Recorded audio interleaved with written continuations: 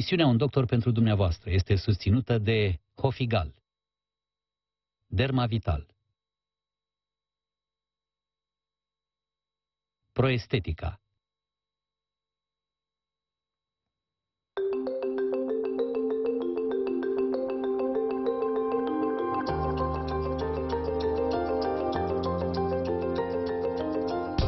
Bun găsit uh, românilor de pretutindeni, o nouă temă de actualitate la un doctor uh, pentru dumneavoastră. Începem uh, emisiunea din această seară cu două ziceri.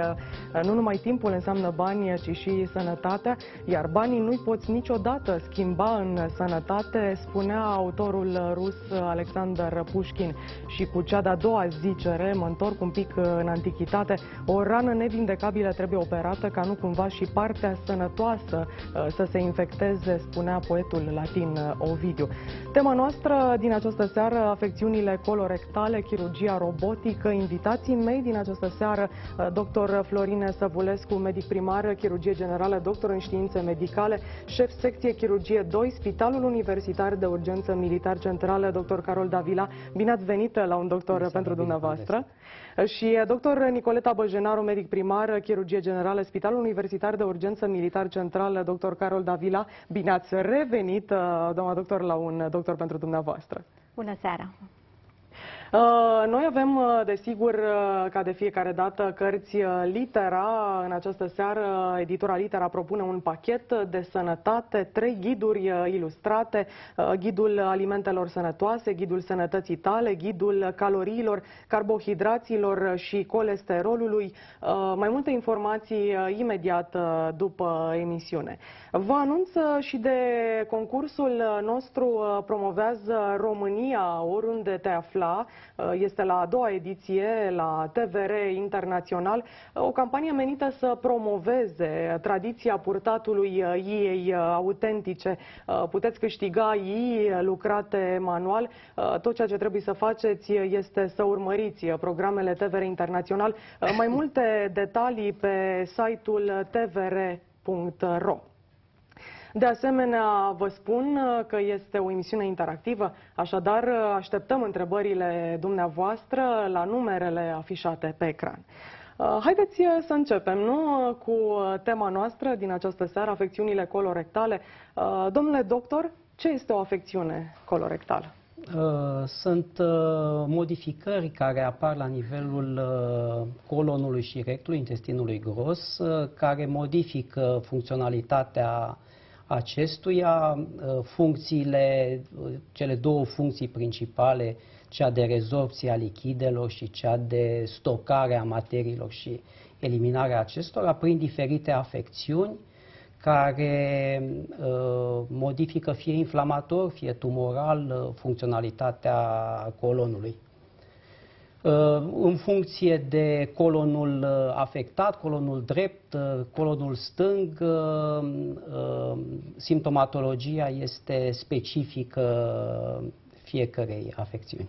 Doamna doctor, etiologia afecțiunilor colorectale, care sunt cauzele acestor afecțiuni? Cauzele afecțiunilor colorectale sunt multiple. Pot fi congenitale, genetice, prin transmitere în cadrul aceleiași familie pe linie ereditară, Uh, pot fi cauze uh, de origine alimentară în urma uh, utilizării unor alimente cancerigene, unor factori predisposanți cancerigeni, atât alimentar cât și din mediul înconjurător.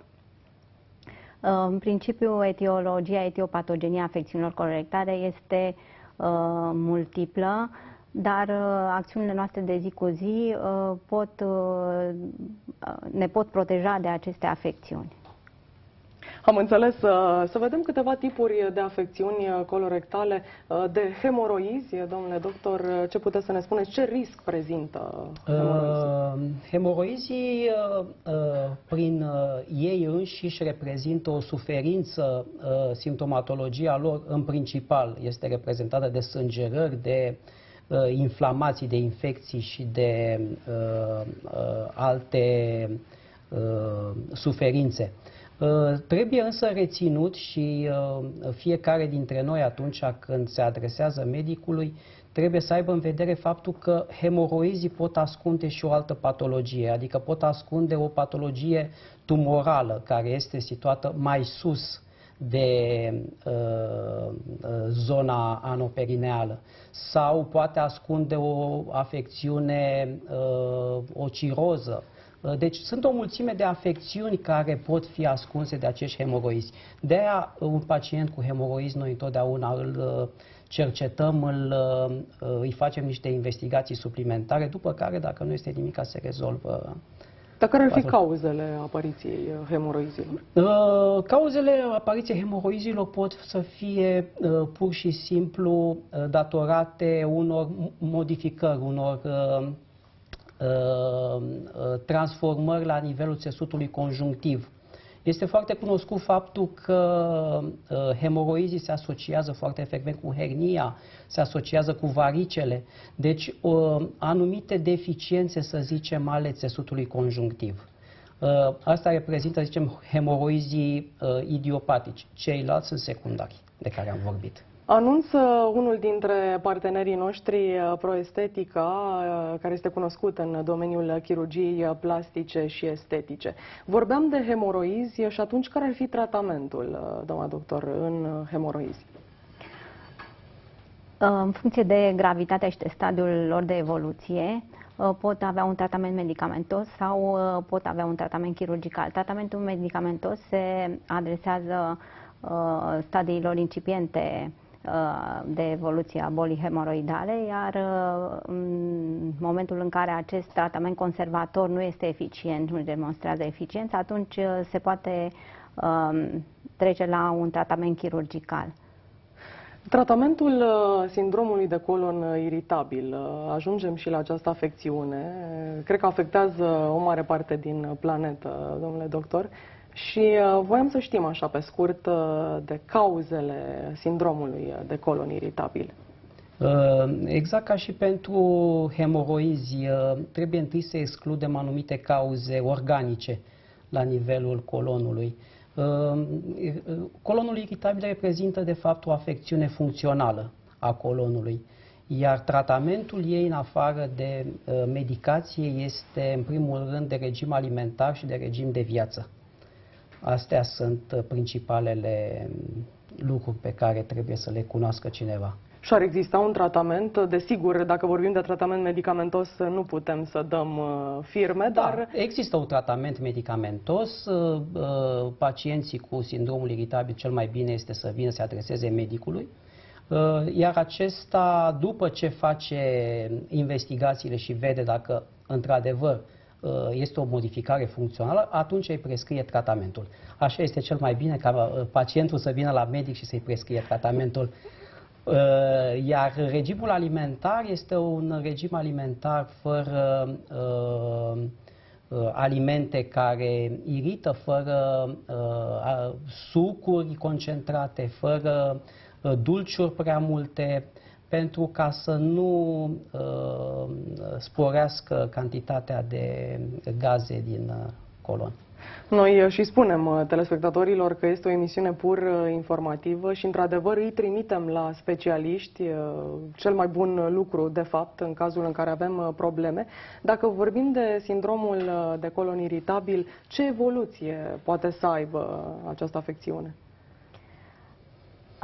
Colonul iritabil este un diagnostic puțin imprecis. El ascunde sub această denumire mai multe afecțiuni. În principal, de bază este colonoscopia. Colonoscopia este cea care îți poate spune exact ce se ascunde sub această denumire uzitată. Câteodată este un diagnostic înșelător, el putând având o, cu totul și cu totul altă etiologie Uh, acest sindrom al colonului iritabil.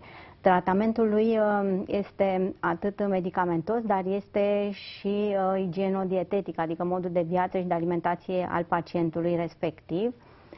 Netratat se poate amplifica ca și simptomatologie. Cel mai bine însă este individualizarea tratamentului și pe această uh, linie se uh, merge în ultima vreme pentru personalizarea tratamentului medicamentos în funcție de comorbiditățile și uh, stadiul uh, de diagnosticare. Dar ne întreabă un uh, telespectator, uh, Florentin, uh, Florin uh, Mihalache, uh, e adevărat că simptomele pot uh, dispărea și apoi pot reapărea la un moment dat? Da, în momentul în care uh, agentul care determină acest sindrom uh, de colon iritabil, așa zis de colon iritabil, reapare, atunci pot reapărea și simptomele uh, și întreaga cohortă de semne.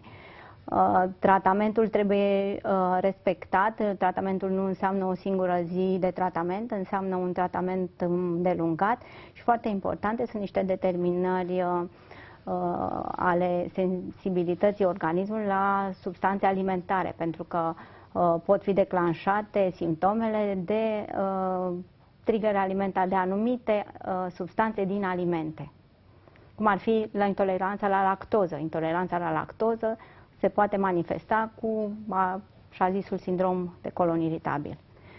Din alimentație trebuie să excludem tot ceea ce are lactoză. Parcă mi-ați uh, citit gândurile, că asta voiam să vă întreb de dieta în uh, SCI, în sindromul uh, de colon iritabil, că știu cum vine un medic chirurg și chiar îmi place, după ce îmi spuneați că vă simțiți foarte bine în sala de operație, într-adevăr, mi-ați spus asta și sunt de acord cu așa ceva, cum vine un medic chirurg uh, după ce operează și chiar și înainte de operație și are grijă de bolnavul uh, său, uh, e un lucru foarte frumos, domnule doctor. De ani și ani alături de pacienți. Pacienții sunt cei care până la urmă ne aduc recunoașterea profesiunii noastre. Noi suntem în slujba lor, încercăm să Uh, depistăm uh, uh, cât mai precis suferința pacientului, să-i ameliorăm simptomatologia dacă nu reușim să vindecăm suferința acestuia. Și până la urmă toată, toată activitatea noastră de fapt este încununată de satisfacția pe care o reușim să o aducem pacientului. Citeam, uh, noi uh, ne place să spunem uh, și poate nu greșim că față de alte programe, eu știu, de la alte televiziuni, noi aducem totuși un jurnalism de calitate și aducem, iată, medici renumiți la un doctor pentru dumneavoastră, spun, și mai le spunem de TVR Internațional aici și așa m-am documentat puțin și pe lângă toate titlurile pe care le aveți dumneavoastră, citeam și mi-a plăcut, pe lângă faptul că absolvent al Facultății de Medicină uh, cu media 9,97 ca șef de promoție, dumneavoastră ați făcut și uh, Colegiul Sfântul Sava, care este da. unul renumit al capitalei da. noastre. Da, uh, este o perioadă de care mi-aduc aminte cu mare satisfacție și într-adevăr este o bază de pregătire pentru ceea ce urmează în viață. Am înțeles, uh, m-am depărtat mult de afecțiunile colorectale. Vă reamintesc că este o emisiune interactivă, așadar așteptăm întrebările dumneavoastră la numerele afișate pe ecran. Uh, haideți să mergem mai departe. Ce este boala Crohn? Boala Crohn este o afectare a, a, la nivel de perete intestinal și, în general, modificările de bază apar la nivelul ileonului terminal din care cauza absorția pe acest uh, teritoriu este modificată și uh, va apărea în principal un uh, sindrom diareic însoțit și de o altă cohortă de simptome nu neapărat specifice bolii Crohn. Care ar fi tratamentul în boala Crohn? Există un tratament medicamentos pe lângă tratamentul igienodietetic Ehm, și acest tratament, asta trebuie reținut, că acest tratament trebuie ținut uh, foarte strict, trebuie ținut a la lung. Uh, pacientul este, trebuie să fie cunoscut cu această uh, maladie și el trebuie urmărit periodic pentru, atât pentru complicațiile care pot să apară în urma acestei boli, cât mai ales pentru faptul că și această patologie se poate maligniza, se poate transforma uh, ulterior în cancer colorectal. Citam uh, un articol uh, de ună zi, uh, conform uh, Crohn's and Colitis Foundation of America, uh, două treimi până la trei sferturi dintre pacienții cu boala Crohn vor avea nevoie de tratament chirurgical la un moment dat. Care este părerea dumneavoastră? Uh, Așa este, apropo de ceea ce am spus, atât pentru uh, uh, cei la care se transformă uh, uh, boala în uh, tumori în neoplasm, uh, iar uh, cealaltă parte pentru cei la care apar complicații, complicații perforative, complicații uh, infecțioase uh, care trebuie tratate uh, chirurgical. Tumorile benigne ale colonului, uh, câteva cuvinte despre... Tumorile benigne sunt reprezentate în cea mai mare parte de polipi. Uh, Din uh, fericire, la momentul actual, colonoscopia poate deveni chiar o manoperă intervențională, făcând polipectomie, deci polipii care sunt depistați într-o fază precoce pot fi uh, excizați uh, colonoscopic, deci fără o incizie, numai prin intermediul acestei uh, explorări. Ei sunt uh, ulterior uh, analizați din punct de vedere histopatologic și se atestă uh, proveniența lor uh, ca fiind nemalignă, deci necanceroasă, însă netratați la timp, polipii, cea mai comună tumoră benignă a colonului, pot degenera malign, adică se pot canceriza. Deci este bine și este ideal de efectuat după vârsta de 40 de ani. Indicăm oricărui uh, individ o colonoscopie, efectuarea unei colonoscopii pentru um, eliminarea acestei probleme cei care sunt depistați cu polipi uh, colorectali sunt ulterior supravegheați în mod periodic. Uh, Cei care au în uh, linie, pe linie ereditară uh, părinți, copii cu această afecțiune au indicație de colonoscopie înainte, chiar înainte de vârsta de 40 de ani, iar colonoscopiile trebuie repetate periodic. Avem un telefon, uh, doamna Ramona din uh, Franța. Bună seara, doamnă. Întrebarea dumneavoastră? Bună seara! V-am sunat fiindcă soțul meu uh, are cam aceeași problemă. El, uh, când uh, se duce pe afară, are și sânge. Este din cauza acestei boli? Aceasta este întrebarea dumneavoastră? Da. Vă mulțumim foarte mult. O seară bună. Exteriorizarea de sânge Da. uh, la nivelul uh, anusului poate fi uh, uh, de proveniență de la nivel uh, diferit uh, al uh, tractului uh, digestiv. Pot fi sângerări înalte sau sângerări joase. În orice caz, întotdeauna este indicată colonoscopia pentru a evidenția sediul sângerării. Poate fi o sângerare de la nivelul hemoroizilor, dar poate fi și o sângerare de la nivelul unei afecțiuni inflamatorii a colonului sau tumorale a colonului. Este foarte important uh, de știut și de întrebat uh, pacientul dacă uh, de caracterele acestei sângerări. Sunt sângerări proaspete care sunt din zona inferioară a tractului uh, digestiv, sunt uh, sângerări mai vechi sau sunt sângerări care pot fi din partea superioară a tractului. Deci uh, foarte important este să uh, ia legătura cu medicul și acesta să-i facă o anamneză amănunțită. Deci, din nou, trimitem... uh, Îl sigur, trimitem la medic, uh, este o recomandare pe care totdeauna uh, o voi face. Pacientul trebuie să vină la medic, nu uh, neapărat să vorbim prin telefon. Bun, putem da un sfat, putem da o... Dar uh, uh, tratamentul nu este bine să-l dăm prin telefon până nu vedem pacientul. Dar Eu ce- cel puțin așa uh, gândesc, așa am fost, școala noastră așa este uh, făcută, să vedem pacientul, cu el lucrăm.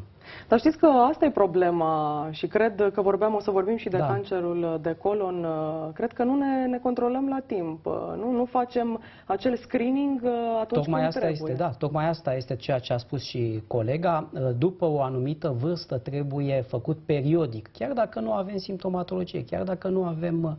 Trebuie la o perioadă de 5-10 ani să ne facem câte o colonoscopie.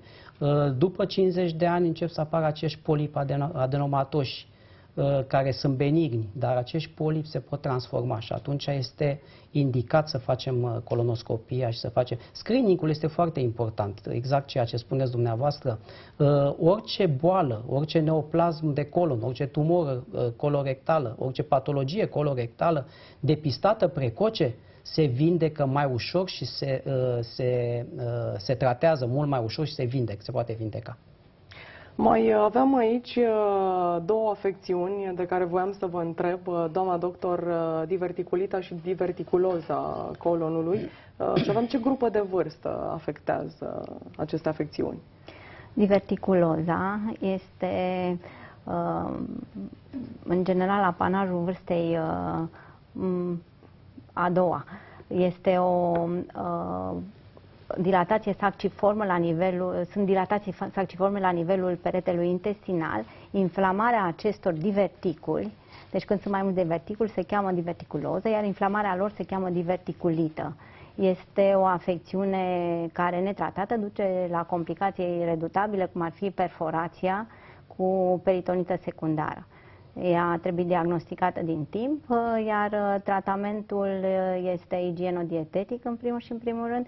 În momentele în care apare diverticulitatea, deci afecțiunea inflamatorie, sunt indicate tratamentele medicamentoase pe lângă regimul igienodietetic și când apar complicațiile se va interveni chirurgical sau în iminența apariției complicațiilor. Anunțăm un alt uh, partener al nostru, este vorba de Derma Vital, uh, Florica Munteanu și specialiștii ei uh, de la Centrul German de Biorezonanță și Dermatocosmetică. Oferă informații telespectatorilor pe adresa office.dermavital liniuțămed.ro și mulțumim pentru sprijin partenerului nostru Hofigal, recunoscut în domeniul fabricării produselor naturale.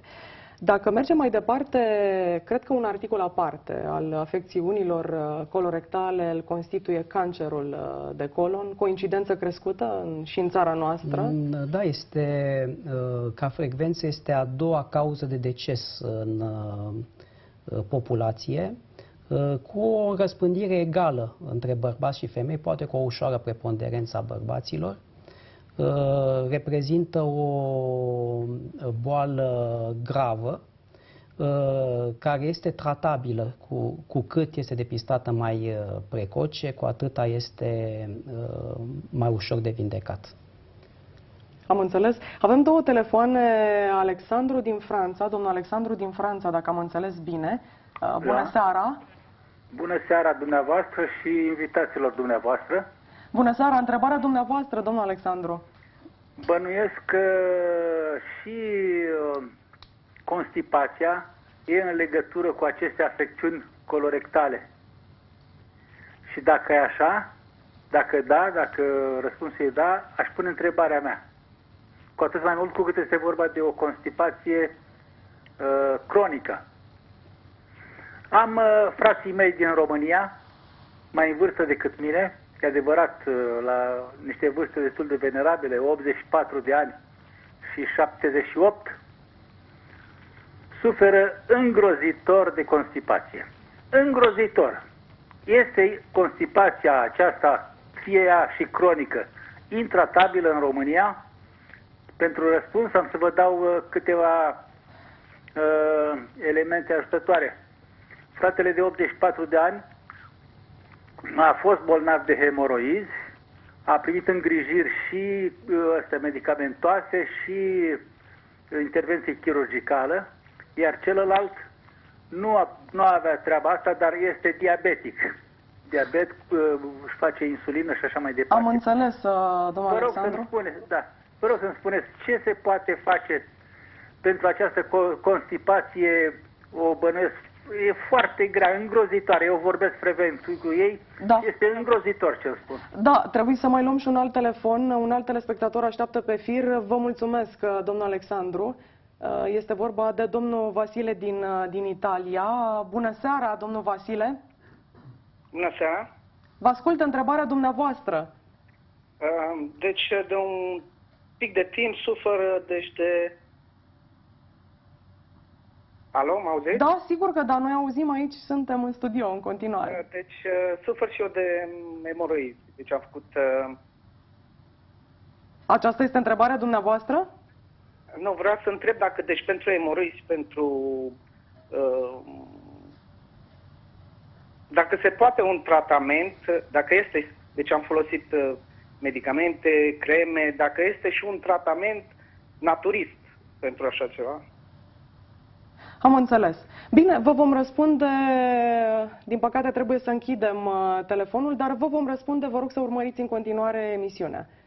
Vă mulțumim foarte mult. Haideți uh, să răspundem uh, pe rând domnului Alexandru, uh, era vorba de constipație. Constipația poate fi o constipație habituală, datorită obiceiurilor alimentare din cadrul aceleiași familii. Din, poate fi o constipație datorată unei afecțiuni congenitale, cum ar fi doligocolonul, megadoligocolonul. Poate fi uh, accentuat uh, odată cu trecerea vârstei. Uh, la diabetici apare o scădere a motilității colonului și implicit apare și constipația.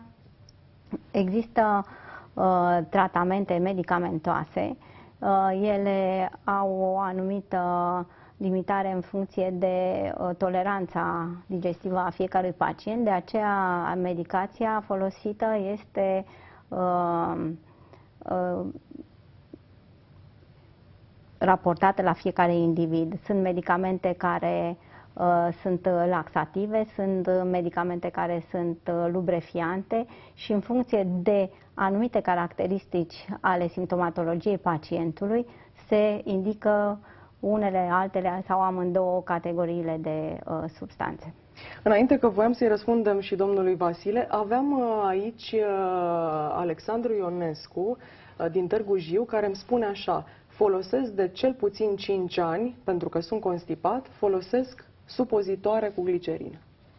Ce părere aveți despre Este acest remediul cel mai simplu și cel mai clasic. Este prima uh, intenție uh, pe linie de tratament, uh, supozitorul cu glicerină.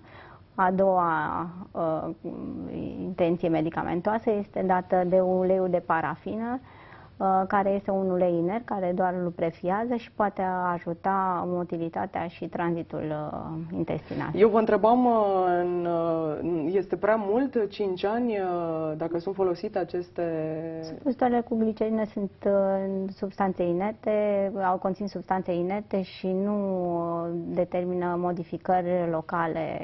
Ele produc, de fapt, o stimulare a, a receptorilor de la nivelul colonului și atunci o stimulare uh, consecutivă a Deci ele contracției nu pot da efecte adverse. Nu, nu. Mai sunt și ceaiurile, ceaiurile laxative, care sunt tot așa naturale, cu care este bine de început uh, uh, tratamentul. Uh, uh, problema, deci nu este constipa, neapărat constipația habituală. Ea este într-adevăr uh, deranjantă, câteodată invalidantă. Uh, apropo de ce întreba uh, Domnul Vasile din telespectatorul, Italia, da, că am vorbit de Așa, hemoroid, uh, dar- sunt, uh, deci, uh, uh, problema este constipația care apare recent și care mai este însoțită și de sângerări și de alte simptome. Iar uh, apropo de hemoroizi, în afară de recomandarea pe care o fac din nou, trebuie neapărat făcut o colonoscopie pentru a uh, ne convinge că nu este o altă cauză a hemoroizilor, ei au desigur tratament uh, conservator, uh, există anumite medicamente trofice vasculare, o parte dintre ele fiind uh, naturiste, să le spunem așa, făcute din plante. Așa, în rest, uh, uh, tratamentul este o igienă uh, foarte strictă a, a zonei respective, un regim alimentar care tot așa trebuie ținut uh, cu evitarea anumitor uh, medicamente, a uh, alimentelor uh, uh, condimentate, a uh, alcoolului care este concentrat și așa mai departe. Domnul doctor, vorbeam uh, de cancerul uh, de colon. Ce factori uh, sunt incriminați în cancerul uh, de colon? Um, factori genetici. Este, există o predispoziție genetică. Dacă în familie au existat cancere uh, de colon, atunci uh, ai o predispoziție mai mare de a face această boală. Factorii genodietetici, factorii alimentari, u- utilizarea um, condimentelor în mod uh, uzuală, constipația habituală, la fel determină prin uh, uh, consecințe, uh, facilitează apariția cancerului uh, colorectal. Prezența polipilor netratați care se pot degenera malign, la fel sunt uh, o cauză a malignității. Um, Consumul de grăsimi, Uh, iarăși, este unul dintre obiceiurile factorii- alimentare. alimentare care- Obiceiurile Dar alimentare. fumatul, uh, alcoolul uh, sunt factori incriminați în cancerul de colon? Nu au în mod fost- direct. Nu au fost determinate uh, o cauzalitate, n-a fost determinată o cauzalitate directă între fumat și alcool, deși se spune că ar uh, crește uh, predispoziția. Dar obezitatea, sedentarismul uh, ar fi factori incriminați în uh, cancerul de colon? Pot fi într-un anumit grad prin faptul că odată regimul alimentar, care probabil că nu este respectat din moment ce se ajunge la uh, această patologie, la obezitate, uh, iar pe de altă parte consumul de alimente care uh, stagnează la nivelul colonului, uh, constipația cronică, ele pot duce în timp la anumite modificări la ale uh, tractului uh, digestiv. Doamna Veronica din uh, Franța, un alt uh, telefon. Uh, Bună seara, doamnă. Ascultăm întrebarea dumneavoastră. Bună seara, aș vrea să văd ce-mi spun domnii doctor despre e, faptul că mi s-a spus la o colonoscopie că este o stenoză, aproape direct undeva, dar fără alte comentarii și fără... Nu am idee despre ce ar fi vorba. Mulțumim, uh, doamnă. O seară bună. Vă răspundem sigur că da, domnule doctor. Uh, da. Uh, această stenoză poate fi uh, de două feluri, poate fi benignă sau uh, malignă. Adică poate fi de o cauză, uh, eu știu, inflamatorie, de o cauză, uh, poate să fie printr-o uh, compresie din afară a colonului sau poate fi o tumoră, așa, care uh, nu poate fi trecută cu colonoscopul. Uh, De obicei, uh, la colonoscopie se iau niște biopsii, se iau niște fragmente din zona respectivă, care apoi se dau la laborator și acestea ne pot spune anumite lucruri despre uh, etiologia acestei uh, stenoze. Mă întorc la cancerul uh, de colon. De ce depinde evoluția acestei boli? Evoluția bolii canceroase a colorectale depinde de stadiul de diagnosticare. În stadiile incipiente, uh, intervenția chirurgicală este suficientă uh, pentru a îndepărta leziunea în timp util înainte de uh, apariția determinărilor secundare. Uh, De obicei se asociază de uh, terapii uh, alternative, Complementare. complementare, cum ar fi chimioterapia sau iradierea, în funcție de uh, examenul histopatologic al leziunii și în funcție de localizarea leziunii.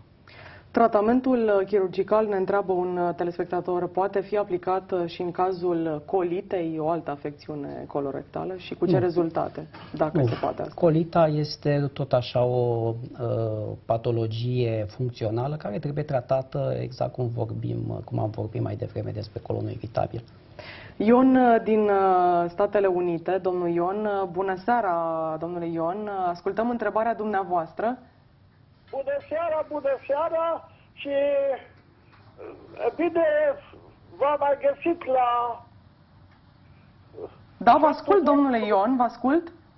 la- Înainte, mai, când era doamna Cristina Timuș, mai, mai, mai convorbea cu dânsa, nu. Am înțeles, am înțeles. Nu este Cristina Timuș, uh, știți că a născut un băiețel foarte frumos și nu este aici.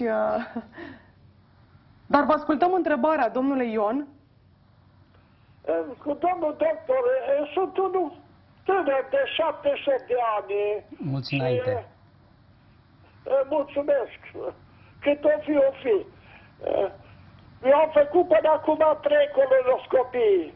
La prima mi-au găsit uh, doi polipi. Uh, După aia, la trei ani de zile, am repetat, mi-au găsit cinci. Și acum doi ani, iar după trei ani de zile, mi-au găsit nouă. uh, toți uh, au fost necancerigeni, deci asta. Dar uh, nu este asta problema. Eu am o constipație grozavă. Vă mă constip uh, de mă chinuiesc ca o femeie când naște.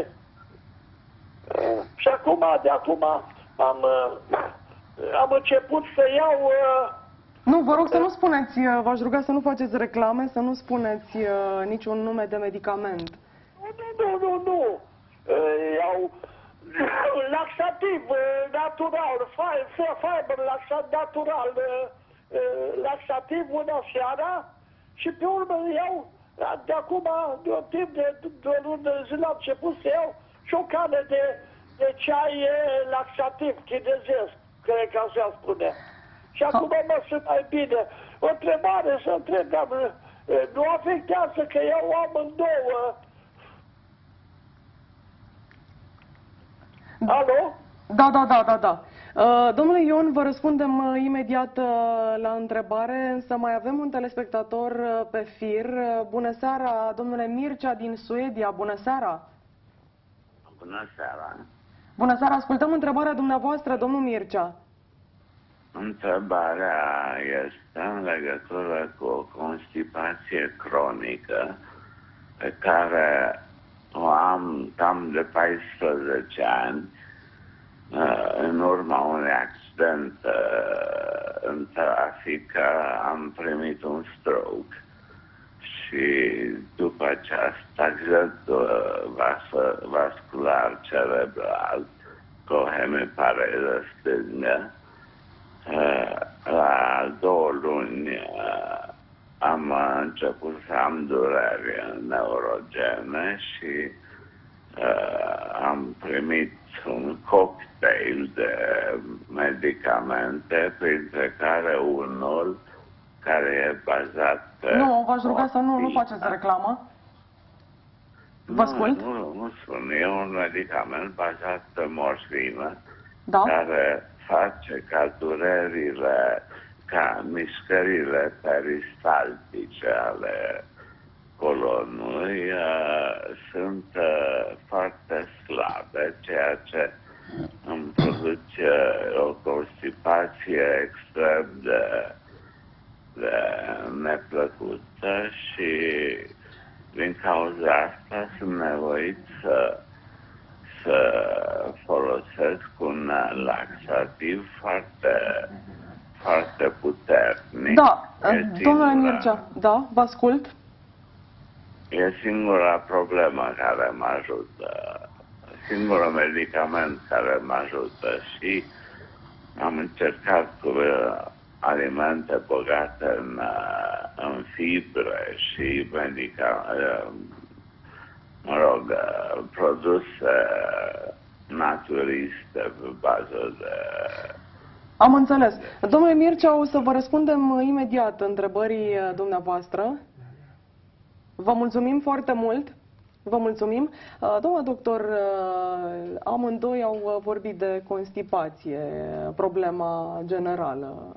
Da, se pare că Această este o afecțiune. problemă. Managementul actual al Da. constipației uh, implică categorii, clase de substanțe diferite care se pot asocia în funcție de uh, toleranța și responsiv, uh, bil- responsivitatea organismului respectiv.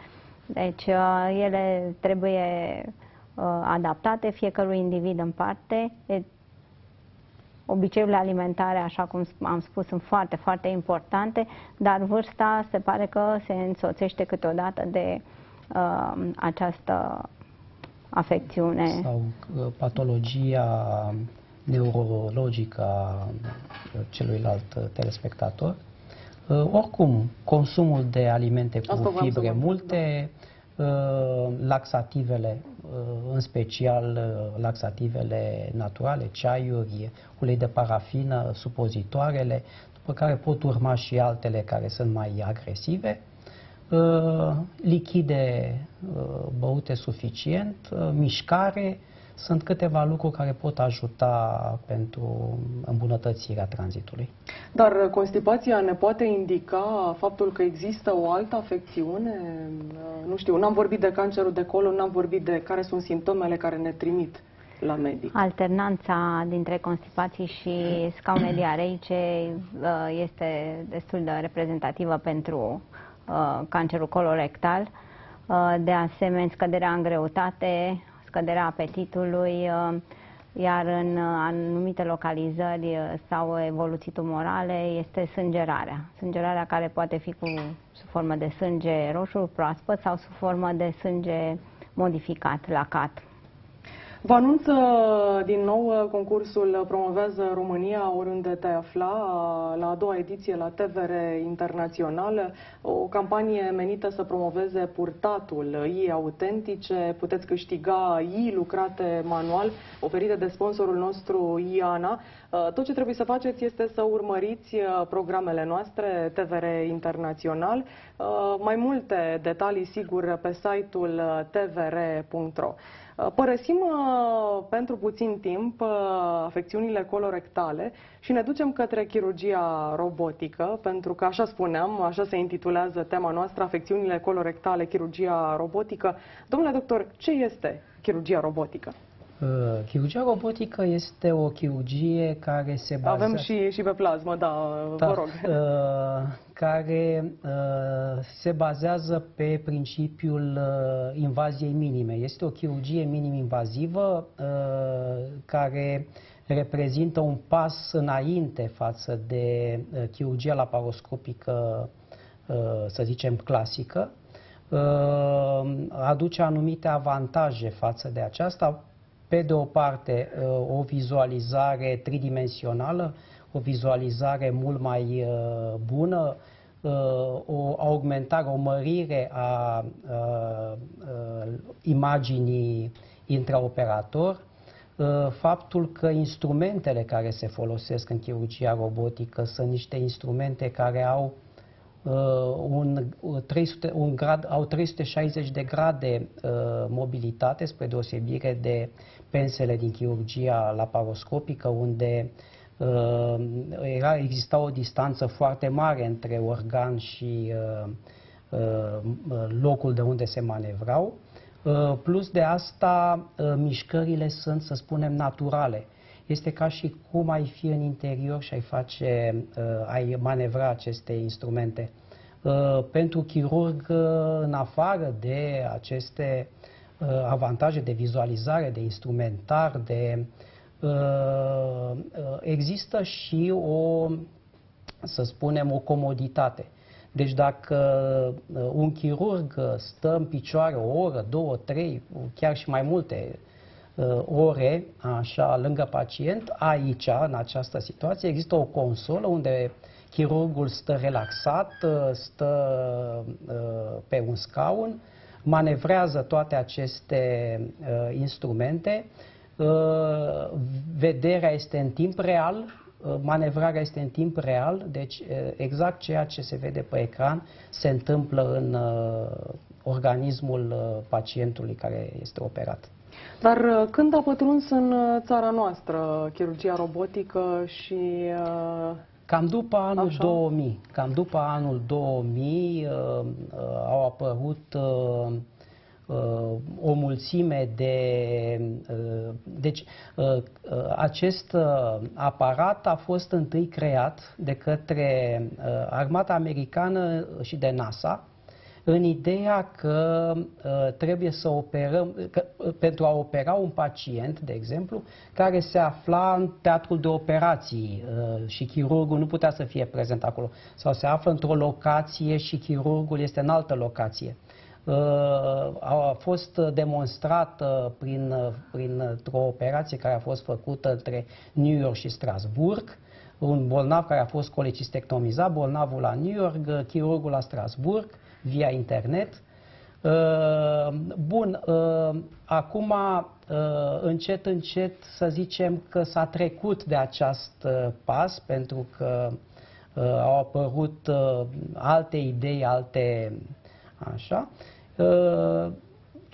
Țin să spun că după anul 2000 au apărut și în țara noastră, deja sunt 6-7 Uh, sisteme robotice care funcționează și care dau rezultate foarte bune. Uh, Doamna doctor Nicoleta Băjenaru, știu că dumneavoastră aveți competență în uh, laparoscopie și de aceea vă întreb uh, care ar fi diferența între chirurgia robotică, cea laparoscopică și uh, cea tradițională, cea clasică. Chirurgia robotică este un pas înainte după chirurgia laparoscopică. Folosește aceleași principii, dar ai o manevrabilitate mult mai bună a instrumentelor folosite intraabdominal. Față de chirurgia deschisă, clasică, așa numită, chirurgia laparoscopică și mai ales chirurgia robotică aduc avantaje uh, evidente. În primul rând, accesul se face prin mini-incizii, uh, evitându-se astfel complicațiilor inciziilor mari abdominale. Um, este o recuperare foarte bună a pacientului și o integrare mult mai rapidă în uh, mediul uh, social. Sunt și dezavantaje ale chirurgiei uh, robotice? N-aș putea să spun că sunt uh, dezavantaje. Uh, V-am prezentat câteva din avantajele pentru chirurg. Uh, Doamna doctor v-a spus de câteva din avantajele pentru pacient. Uh, Cele mai mari avantaje sunt însă pentru pacient. Uh, Pe lângă faptul că sunt aceste incizii mici, riscul de infecție este mult mai mic, uh, chiar inexistent. Uh, Pierderile de sânge sunt uh, reduse la minimum recuperarea pacientului este extraordinar de, uh, de rapidă. Uh, uh, Poate chiar spitalizarea se reduce la jumătate. Uh, Este într-adevăr o procedură mai scumpă decât celelalte proceduri, dar eu zic că avantajele pe care le aduce pentru pacient în primul rând sunt mult mai mult decât un cost mai mare. Uh, cancerul, uh, citeam într-un articol, cancerul de colon în stadiul uh, incipient poate fi îndepărtat uh, laparoscopic. Uh, Este mai bună în acest caz uh, chirurgia robotică? Chirurgia robotică îți oferă o vizibilitate mult mai bună. Prin uh, chirurgia robotică și laparoscopică se pot uh, uh, executa operații pentru mai multe stadii ale cancerului, nu numai pentru stadiul incipient și evitarea ganglionară se face cu mult mai multă finețe și este mult mai uh, ușor uh, uh, de executat în chirurgia robotică, oferindu-ți robotul acea uh, uh, specificitatea instrumentelor. Și chirurgia laparoscopică, la fel, este și ea uh, fezabilă în uh, stadii uh, și a- chiar avansate de uh, cancer colorectal. Deci nu putem spune că există uh, avantaje ale chirurgiei deschise. Uh, Chirurgia laparoscopică și chirurgia robotică putând efectua la fel de bine sau chiar mai bine prin vizibilitatea crescută pe care ți-o oferă ecranul uh, Aș spune că uh, față de chirurgia laparoscopică, în chirurgia robotică, este uh, ca și cum ai opera clasic. Deci este o operație, sunt operațiile, se pot face robotic, operațiile clasice care nu se pot face în uh, chirurgia laparoscopică. Și se vede mai bine, uh, uh, precizia este mai mare, uh, robotul nu-ți permite, nu permite mâinii să tremure. Și atunci toate mișcările uh, parazite ale uh, chirurgului sunt preluate de aparat și stopate. Dar ne întreabă Mihai Enescu din uh, Târgu Jiu. uh, Pot exista erori? Mă refer ce se poate întâmpla în cazul unei căderi de tensiune, de exemplu, în chirurgia robotică? Uh, uh, Toate sistemele robotice sunt prevăzute cu uh, baterie care ține o perioadă destul de lungă până când se poate remedia și uh, pierderea de curent. Există un segment de pacienți, uh, eu știu, căruia nu este indicată chirurgia robotică? Uh, Indicațiile și contraindicațiile laparoscopiei uh, au uh, fost uh, în timp asimilate cu cele din uh, chirurgia clasică deschisă. Deci nu mai putem spune în ziua de azi că există acele contraindicații inițiale care există. Deci se pot opera aproape uh, toate categoriile de uh, pacienți. Uh, La, ca și o contraindicație rămasă totuși ușor relativă sunt uh, intervențiile chirurgicale neantecedente datorită sindromului aderențial care poate apărea postoperator. Care poate determina o dificultate de a efectua operația, nu neapărat o Da, nu e contraindicație, dar uh, uh, ca principiu toate operațiile se pot face uh, minim invaziv. Adică ceea ce se poate face în chirurgia clasică acum se face foarte bine și în uh, chirurgia minim invazivă. Putem să explicăm uh, de acest termen minim invaziv? Minim invaziv este, uh, trebuie să ne gândim că în chirurgia clasică există o, o incizie, da? O incizie care este mai mică sau mai mare. Era și o vorbă, chirurg mare, incizie mare. Uh, acum aceste incizii au fost înlocuite de niște uh, incizii minime, de uh, incizii de jumate de centimetru sau de un centimetru prin care se introduc niște sisteme, niște trocare pe care se introduc pensele și cu care se efectuează operația. Probabil că acum o să schimbăm chirurg mare, incizii mici. Așteptăm am înțeles. Modificat. Cât durează spitalizarea și perioada de recuperare în urma intervenției prin chirurgia robotică? Chirurgia robotică, la fel ca și chirurgia laparoscopică, poate fi chirurgie de o zi pentru anumite afecțiuni, bolnavul prezentându-se la spital uh, dimineața pentru internare, având efectuate uh, în prealabil uh, analizele necesare intervenției chirurgicale cu diagnosticul deja stabilit sau uh, în uh, afecțiuni uh, care necesită o supraveghere ulterioară, aceasta oricum față de chirurgia deschisă este redusă la 2-3 zile. Am înțeles, ne întreabă un telespectator, chirurgia robotică, spuneați, are costuri ridicate. Care este prețul unei astfel de intervenții cu aproximație? Este greu de calculat prețul unei intervenții pentru că Uh, la fiecare intervenție uh, se folosește o altă categorie de instrumentar, uh, se folosesc mai multe instrumente, mai puține instrumente. Oricum, prețul este în jur de 2000 mm, de euro mai în plus sau în minus pe o intervenție. Am înțeles și am mai fi avut o întrebare aici. În viitor, robotul va deveni indispensabil? Uh, eu aș spune, deci, uh, uh, trecerea de la chirurgia clasică la chirurgia laparoscopică a fost un mare, un mare pas înainte. Trecerea de la chirurgia laparoscopică la chirurgia robotică este un alt pas înainte.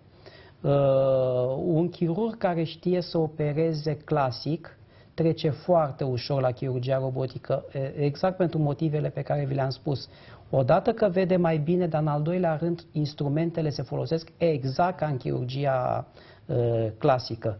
Uh, eu spun că încet, încet, uh, fiecare uh, tip de intervenție, fiecare tip de uh, aparat își va delimita indicațiile și uh, uh, avantajele lui și uh, uh, să lăsăm timpul să le Vă mai citesc că mi-a plăcut, uh, scria undeva, istoria chirurgiei își regăsește rădăcinile în antichitate, însă chirurgia modernă practicată în zilele noastre în trecut de aproximativ 150 de ani, uh, revoluția realizată în anii 80 de către chirurgia laparoscopică și apoi uh, chirurgia robotică sunt repere reprezentative pentru evoluția chirurgiei.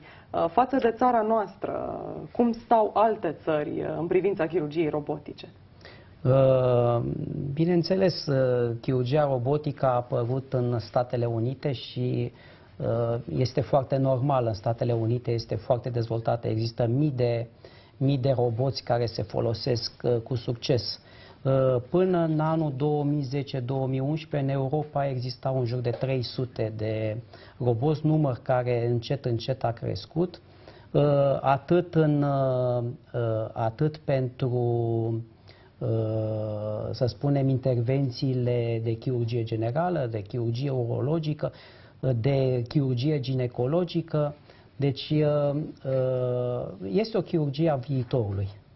Am înțeles, uh, din păcate, timpul uh, a zburat uh, așa foarte repede. Vă anunț în finalul emisiunii de editura Litera are cărți pentru noi un pachet de sănătate, trei ghiduri ilustrate, ghidul alimentelor sănătoase, ghidul sănătății tale, ghidul caloriilor, carbohidraților și colesterolului.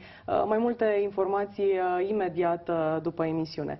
Vreau să vă ofer pe final uh, de emisiune uh, câte un bonsai. Uh, se spune că trăiește foarte mult un bonsai, așadar și eu vă urez Mulțumim. viață lungă și cât mai multe, domnule doctor, vă rog, Mulțumesc cât mai multe operații în care să-i ajutați pe pacienți. Cât mai multe operații reușite care să ajute operații. pacienții, da. Sigur că Mulțumim da. Uh, mi-a făcut plăcere, am fost onorată de prezența a doi chirurgi în fața mea. Uh, mulțumesc încă o dată, domnul doctor Nicoleta Băjenaru, mulțumesc încă o dată, domnul doctor Florina Săvulescu. Uh, vă mulțumim și dumneavoastră, trebuie să anunț și de Trias, uh, cel care ne dă florile uh, pentru sprijin, deci uh, florăriei uh, Trias. Uh, nu uitați uh, de tema viitoare, de mâine, transplantul medular în bolile de sânge. Uh, de asemenea, vă anunț și emisiunile 20, telejurnal, apoi Lumea și noi și de la ora 22, emisiunea Investiții în România. Vă mulțumesc pentru atenție, rămâneți alături de TVR Internațional.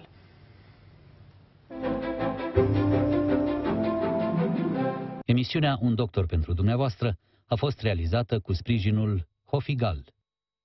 Proestetica